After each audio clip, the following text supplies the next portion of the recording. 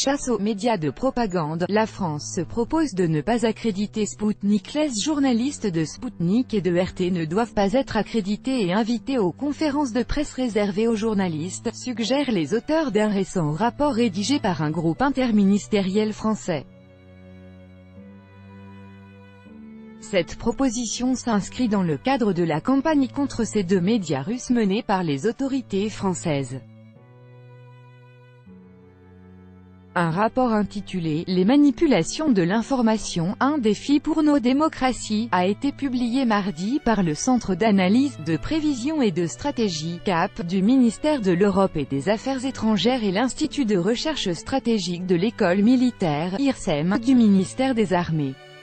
Ce document propose de ne pas accréditer les journalistes de Sputnik et de la chaîne russe RT qui, selon les auteurs du rapport, ne sont pourtant que les équivalents russes des grands médias occidentaux.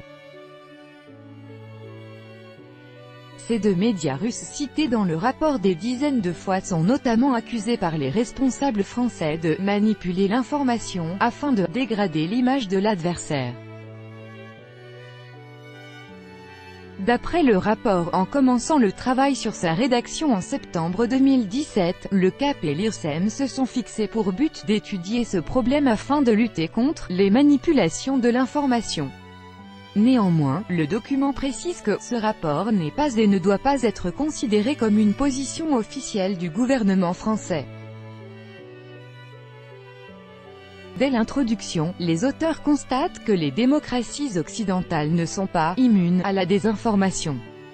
Les ingérences répétées qui se sont produites depuis 2014, Ukraine, Bundestag, référendum néerlandais, Brexit, élections américaines, ont prouvé que les démocraties occidentales, même les plus grandes, n'étaient pas immunes à la désinformation, lit-on ainsi dans ce document.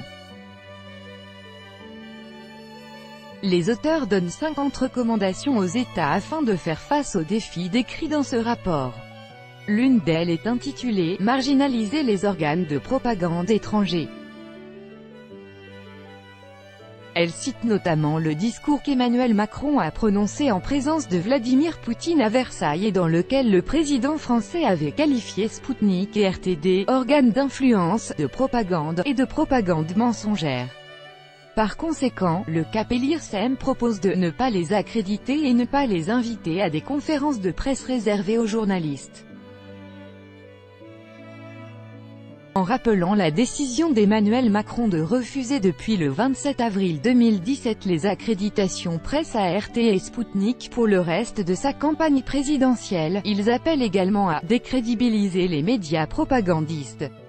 Le mercredi 3 janvier, lors de ses premiers vœux à la presse, le président de la République avait annoncé son souhait de voir promulguer une loi anti-fake news qui permettrait, en période de campagne électorale, de saisir un juge à travers une nouvelle action en référé, d'accorder plus de pouvoir au Conseil supérieur de l'audiovisuel, ou encore, d'imposer, aux plateformes des obligations de transparence quant à leur contenu sponsorisé, au risque de se voir appliquer, des sanctions extrêmement lourdes. Le Sénat français n'a pas adopté fin août les deux propositions qui avaient été votées par l'Assemblée nationale en première lecture dans la nuit du 3 au 4 juillet. Il s'agit notamment de la proposition de loi et la proposition de loi organique relative à la lutte contre la manipulation de l'information. En automne le projet de la loi anti-fake doit repasser à l'Assemblée nationale, copyright Sputnik.